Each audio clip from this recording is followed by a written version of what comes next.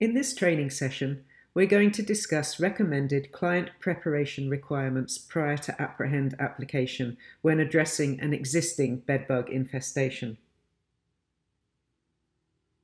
The first step really is, is with the client and the preparation that we ask them to do. Now, we recommend what we call minimal prep. You've probably heard of the no prep protocols. They're essentially the same because it requires cooperation, but it doesn't require extensive preparation as we have been used to in the past, uh, where, where people have to empty everything out of their drawers, launder their entire um, clothing collection and so on. So that is not required in this case. But we, we do want clients to work with us. We don't want to in, work in this kind of environment. It's entirely reasonable to expect people to pick up clutter from the floor, um, to throw away items that are not required, to launder dirty items that have been left there, uh, to strip the bed and, and, and launder and dry the, the bedding on high heat. But we don't require them to empty clean clothes out of drawers and closets and that sort of thing.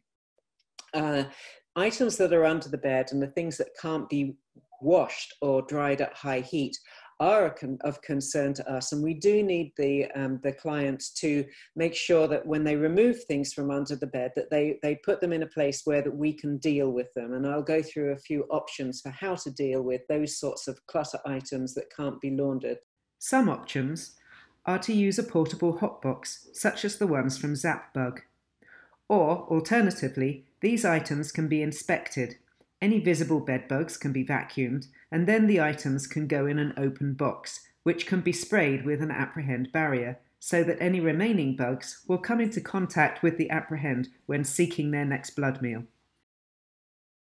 So, minimal prep means pick up the random clutter, strip the bed and bag the bedding, launder those sheets and bedding, and place all of these bulky items on high heat in the dryer.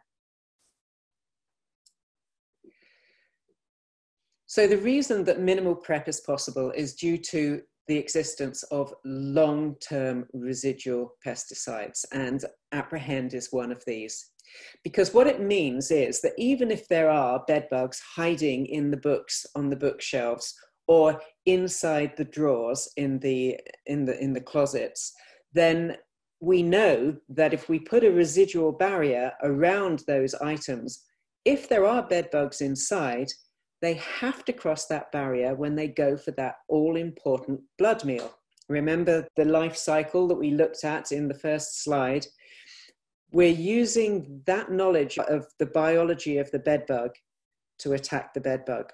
So we know it's got to take a blood meal in between each of its life stages, and we're going to put Aprehend barriers between the bedbugs and the blood meal so that we can be sure that they come into contact with our application and we're not having to chase them and try and find every single nook and cranny and hiding place that they have been lodging in. So we're going to leave those clothes in the drawers. Um, we're going to identify items that can't be laundered and we're going to deal with those.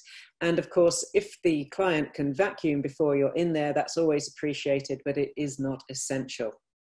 We've got a homeowner preparation guide that can be downloaded and handed to your clients. It's in the on the Aprehend web website under documents. You can download that. You can put your own logo on it if you like.